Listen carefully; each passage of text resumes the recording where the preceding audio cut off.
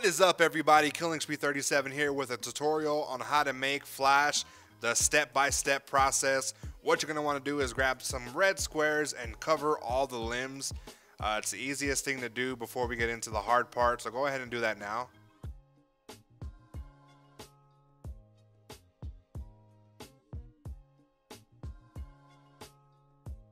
Don't forget to kind of stretch out the square and also do a spin around to make sure that all areas are covered.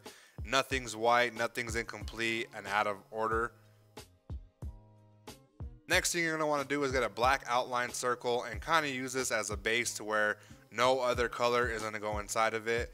So what I do right now is I pretty much fill in everything that I can as much as possible. Then we go in with some half moons right here to cover the outer circle of it.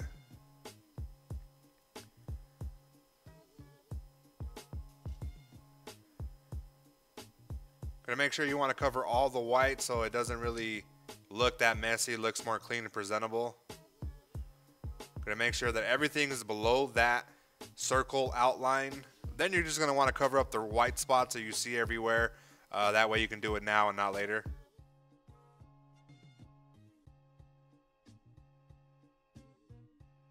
Do a spin around real quick, make sure everything's covered. If not, just go ahead and hit it with another square. Next thing is going to be the skin tone. Get an orange uh, square. Make sure it's a little bit transparent and put it all underneath anything red. Uh, it just helps it uh, not get disturbed in anything. Then grab a couple shapes that you feel confident with in making the, the eyes and the mask. I use these types of hexagons, just the outlines to kind of have it as a placeholder so nothing gets interrupted. Make sure they're kind of even too to a level that you like it, otherwise it'll just look stupid at the end. Okay, we're gonna add another one. This one's gonna be for the mouth this time.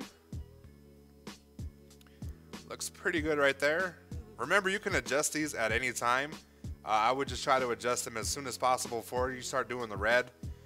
Then again, just like the circle in the middle, just kind of put red shapes around uh, the thing so it doesn't really uh, stand out as much.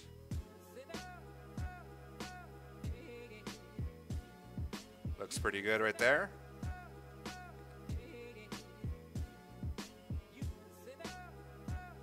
Right here, you're gonna want to make sure that you get all this, all the, the spaces covered. You got to figure out the shapes. Play with some shapes. You might find a better shape than I did, but I did use triangles for these certain areas because they did cover a lot of space and we're hitting the angles to where the mask outline was hitting. It's pretty good. Just keep using triangles. Make sure that the bottom mouth outline is just out above everything else, the red. That way it looks more clean and presentable.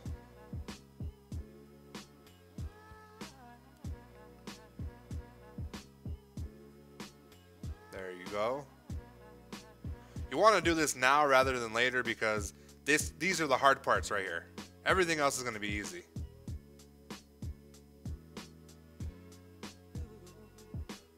There you go. Just experiment, make sure everything's kind of in the place. If it goes a little bit over the design, it doesn't matter, but it, if it's too noticeable, you can kind of fix it later on.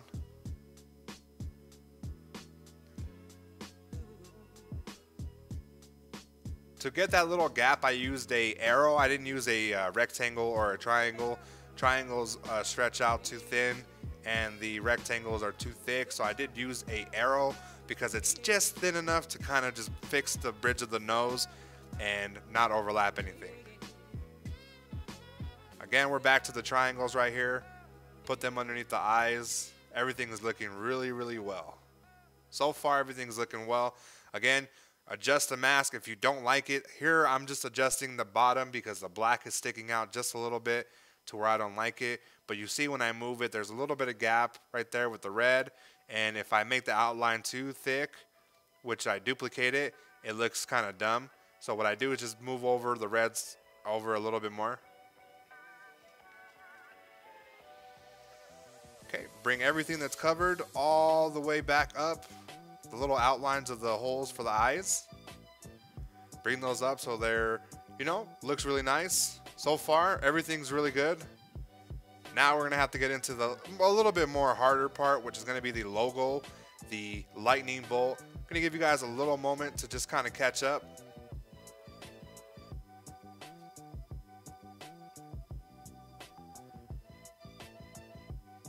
Okay, we're going to work on the next easier part, which is going to be the boots. A, yellow square and a black square to cover the outline. You can use a normal outline, but I feel that if you use a black square, it gives you a better, thicker, sear uh, type of outline on the boots. The outlines kind of fade and then become a little bit bigger depending on uh, how far you stretch them. There you go. And what you do to one side, you do, you do to the other. There we go. Everything looks good so far.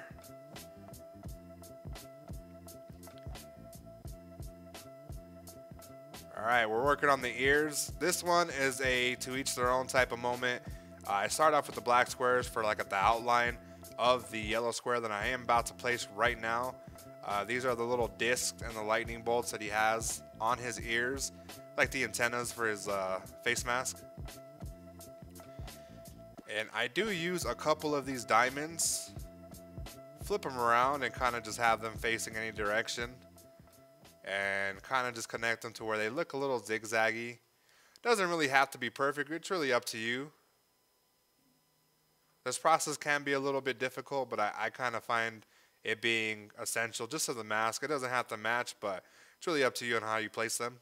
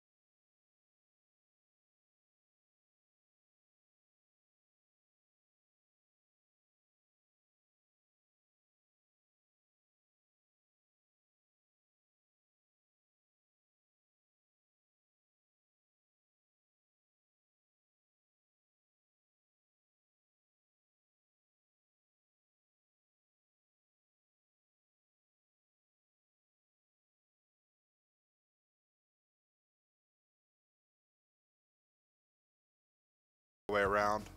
Don't be afraid to duplicate the shapes too and then do it like that. Don't go back.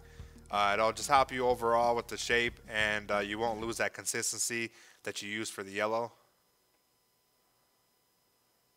There you go. Just play it around. Play around with it until you get it comfortable or as close as comfortable as you can. Make sure the outline's a little bit thin Just looks better. It's more aesthetics than anything else. Just to make that, you know, make it look colorful and uh, detailed as possible.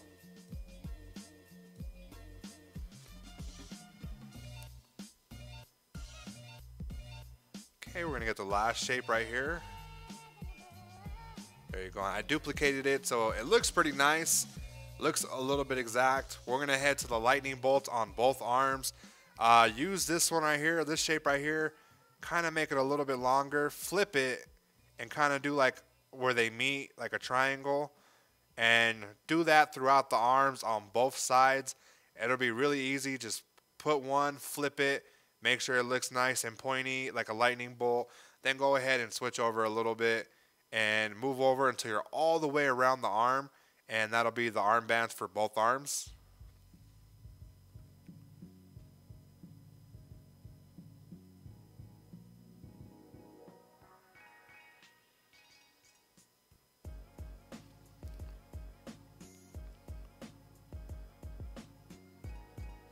Okay, and what you do to one side, you do to the other. You can try to make them symmetrical as much as possible. They might not be 100% symmetrical, but the closer they are, the better it looks.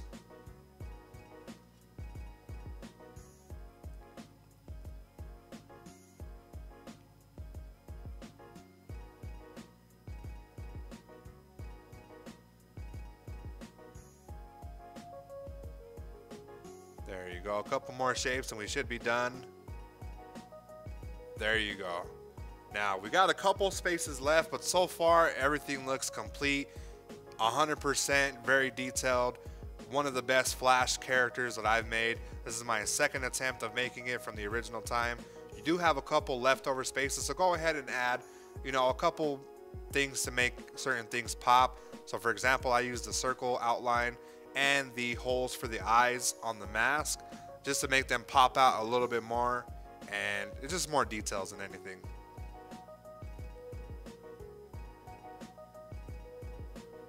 Make sure everything's in place. There's no shapes missing. And there you have it, guys. This is the Flash in UFC 3, one of my creations. Thank you guys for watching this. At the end of the video, I'm to show you guys the sculpture of the face so you guys can replicate the face better.